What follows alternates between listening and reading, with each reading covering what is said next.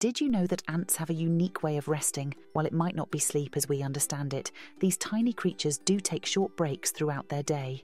Unlike humans who need several consecutive hours of sleep, ants experience what scientists call microsleeps. These microsleeps last for just a few minutes but happen many times throughout a 24 hour period. Ants are extremely busy beings, often working together in perfect sync to build nests, gather food, and protect their queen. These quick naps help them recharge and maintain their energy levels. Interestingly, different types of ants have different sleeping patterns. For example, worker ants might have hundreds of these tiny sleep sessions. On average, they accumulate around four to five hours of sleep per day. The queen ant, on the other hand, can rest more, averaging around six to nine hours of sleep daily through longer periods of rest compared to her worker counterparts. This division allows the colony to stay active and responsive at all times, ensuring the queen's safety and the colony's well being.